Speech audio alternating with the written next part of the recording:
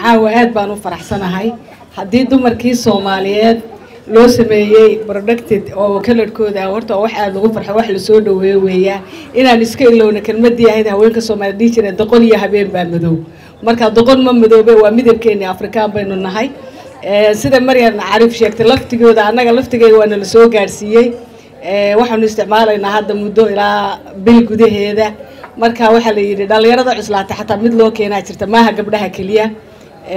Waxaan waxaan rabnaa gabdhaha dhaawaca ka soo gaadhaya waad ogtihiin.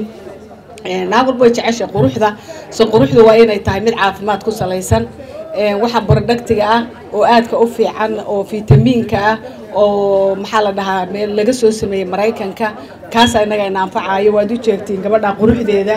Waa midabkii soomaalida la dhihi jiray akhtar jebiska. Marka inagoo dhan soomaali caa waxaan wadanahay akhtar jebiskaasi. Waxaa leeyahay lagu soo dhawaado gabdhaha soomaaliyeed meel kastay joogaan waxaan leenahay waxa kalarkeena waxa la jayno iyo wax laga soo walaaqa inaynu ogeyn wuxuu yaho kimika intaynu iska dhaafno aynu ku soo dhawaano gabadha yare aynu waalidka u nahay ee soomaaliyeed waxa ay samaysay.